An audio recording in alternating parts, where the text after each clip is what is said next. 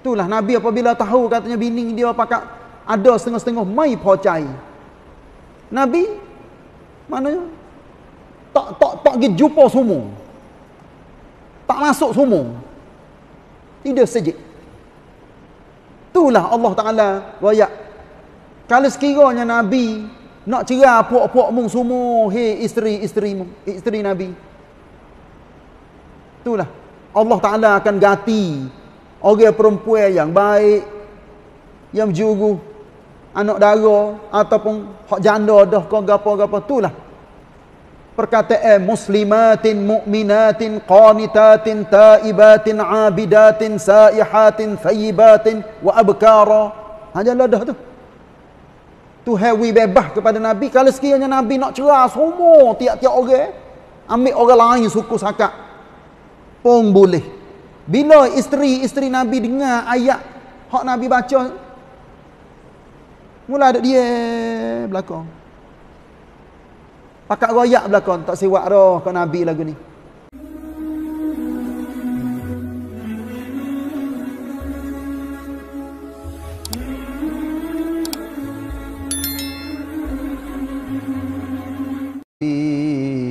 إليك من تشاء ومن ابتغيت ممن عزلت فلا جناح عليك. ذلك أدنى أن تقر أعينهن ولا يحزن ويرضين بما آتيتهن. ويرضين بما آتيتهن كلهن. والله يعلم ما في قلوبكم. Kana Allahu aliman halima. Ayat 51 suratul Ahzab. Sebagai kali yang kedua kita baca ayat ni. Cuba kita melihat sikit sebanyak maksud dia. Engkau itunya nabi boleh menangguhkan sesiapa yang engkau kehendaki dari mereka dan engkau boleh mendampingi sesiapa yang engkau kehendaki maknanya hei nabi mana-mana orang perempuan yang mari tawar diri kepada mu serah kepada mu sendirilah. Mu nak terima ataupun tak saya terima hak ni duduk di picarana nabi untuk terima ada setengah-setengah nabi ambil nabi menikah tak orang perempuan ya ya bala tu. Di tangi dia ni nampak molek lah. Tapi berbuka tubuh. Ada pasal bala-bala ada tapung-tapung Nabi royak mengkliklah kepada keluarga mu. Bukan Nabi beci hina tak tapi orang tino tu ya ya, ya tak royak kepada Nabi. Katanya dia ada menyakit. Ha, maka Nabi cerai tak klik tak si, tak si, tak si ambil. Sebab apa? Takut takut mudarat. Ni ada di dalam sejarah yang disebut di dalam dah sirah nabawiyah dan sesiapa yang engkau hendak mendampinginya kembali dari mereka yang telah engkau jauhi itu, maka tidaklah menjadi salah bagimu melakukannya. Tu herayat juga. Kalu. Orang hak Nabi biasa cerah. Lepas tu, nak ambil kembali semula jadi bini. Pun tak ada gapo. Ning sit. Ataupun hak bagi Nabi. Nota kaki satu pak ne kosong. Eh, satu pak nenek. Yakni baginda diberi kebebasan menangguhkan giliran bercampur dengan sesiapa yang dikehendakinya dari isteri-isterinya. Tersebut juga iaitunya giliran-giliran supaya saya rayak belum pada ni. Iaitunya giliran bagi saudah yang dia beri kepada Aisyah. Hal ni mengikut reda dia sendiri. Lepas tu Nabi yang nak masuk rumah bini mana, masa mana, boleh berlaku. Tak ada kira tengah hari ke, tengah malam ke.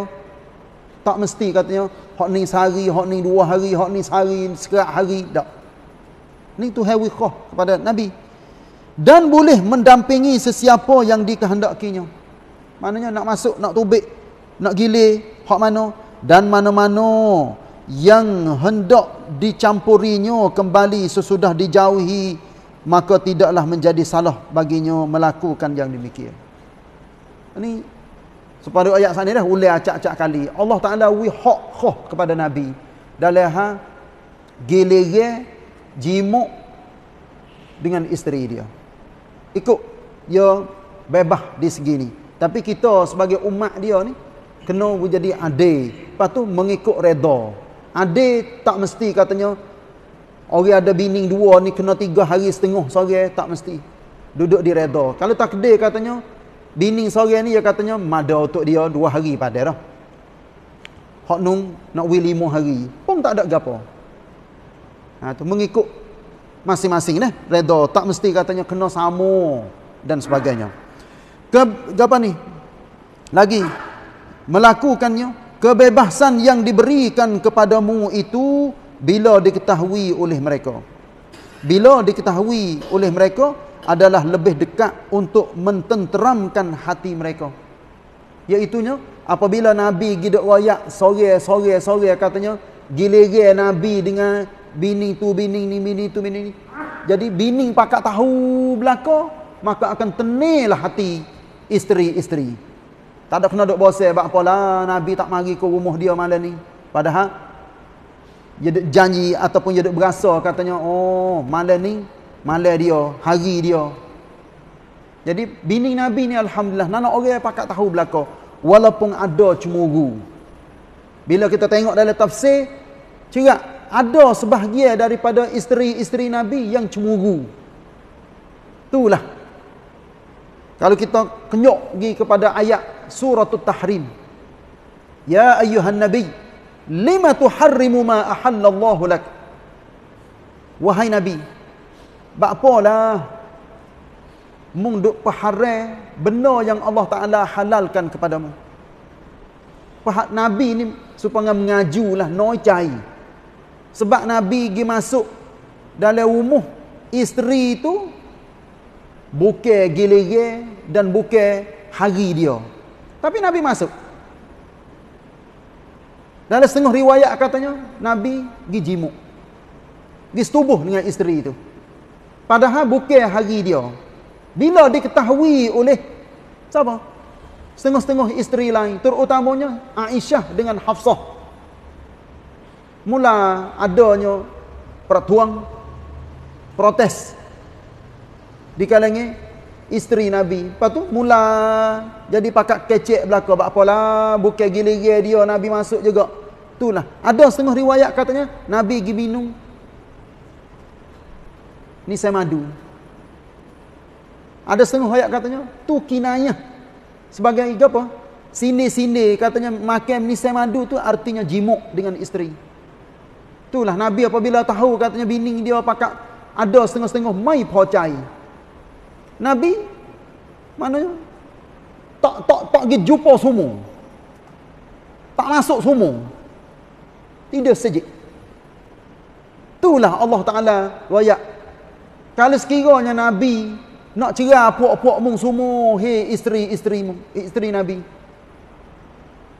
Itulah. Allah Ta'ala akan ganti orang perempuan yang baik, yang juru, anak dara, ataupun hak janda dah, kau gapa-gapa. Itulah.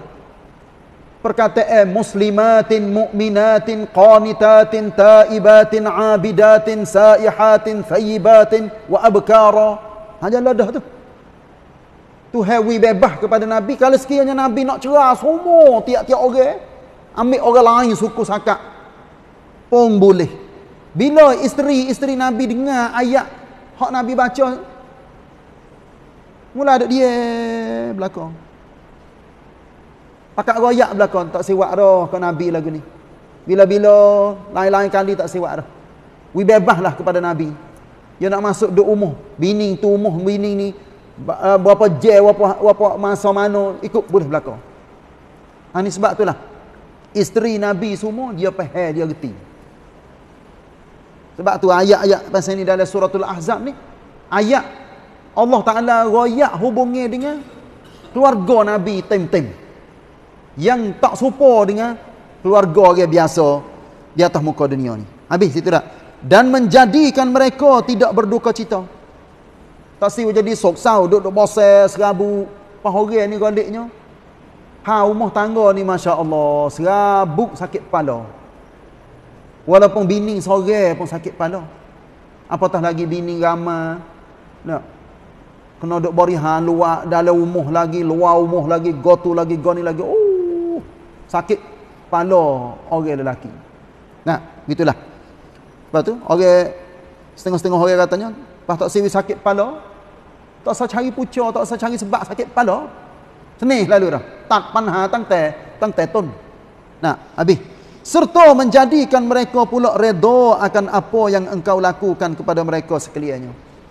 Oh, jadi redha pakat terima belaka. Tu alhamdulillah isteri-isteri Nabi ni solihah belaka anak orang. Baik belaka. Tak ada katanya isteri itu nampak teruk, isteri ini tak faham, tak reti. Orang duduk di bawah jaga air Nabi, tarbiyah Nabi ni semua berjuruh belaka. Sama ada isteri Nabi. Ni hak duduk dalam rumah. Anak Nabi sendiri. Siapa lagi? Sahabat-sahabat, sahabiat. Semua tu baik juruh belaka. Alhamdulillah. Dan ingatlah Allah sedia mengetahui akan apa yang ada dalam hati kamu. Dan Allah adalah amat mengetahui lagi amat penyay, uh, penyabar. Ni Alhamdulillah. Allah tingtai ayat 51 macam ni.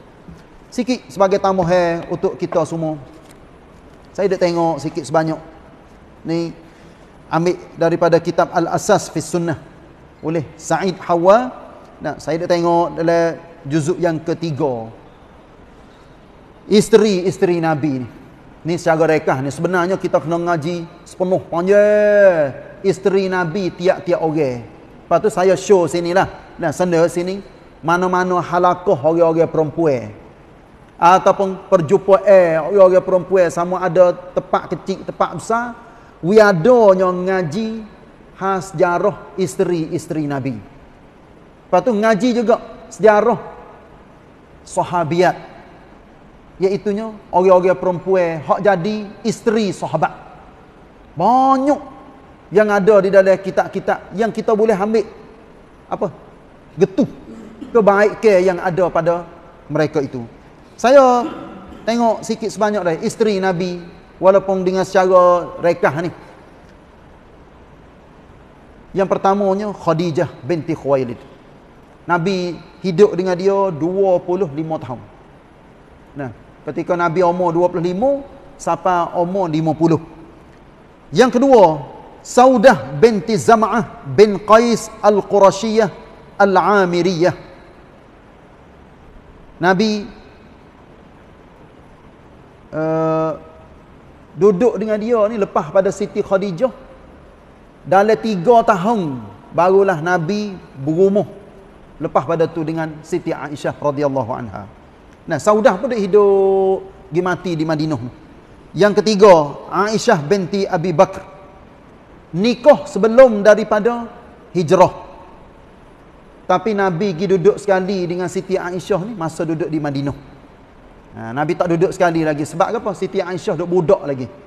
Masa duduk sekali tu, Aisyah umur lebih kurang 9 tahun. Ha, tu.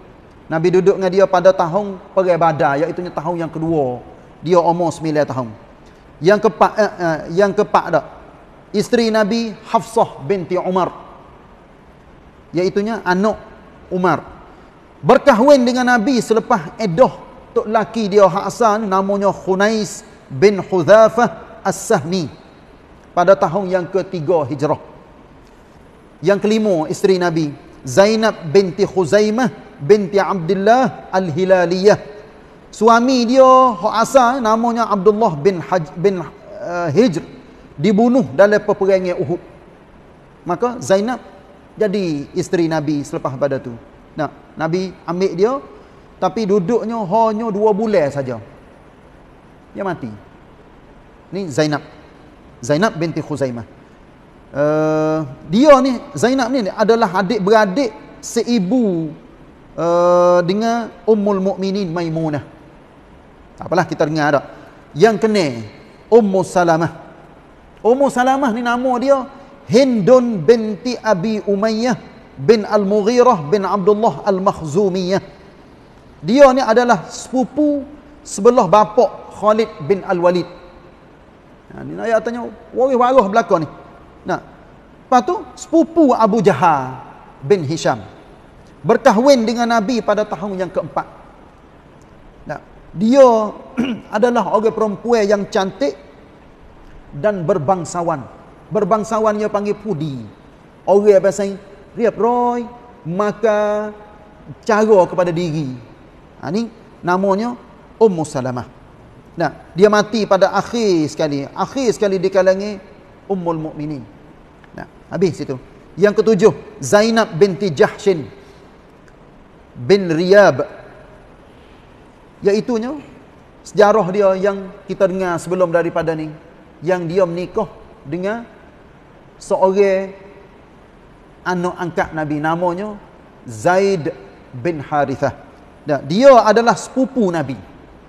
Ha, ni Zainab binti Jahshin. Dia tawar diri kepada Nabi belum pada yang menikah lagi. Tapi Naya tanya Nabi tawar kepada dia nikah dengan Zaid lah. Gitulah. Dia adalah sepupu Nabi di sebelah ibu. Ibunya namanya Umaymah binti Abdul Muttalib bin Hisham. Lepas tu Zainab ni mati pada tahun yang ke-20 Hijrah. Lagi tak? Kita pergi sore-sore.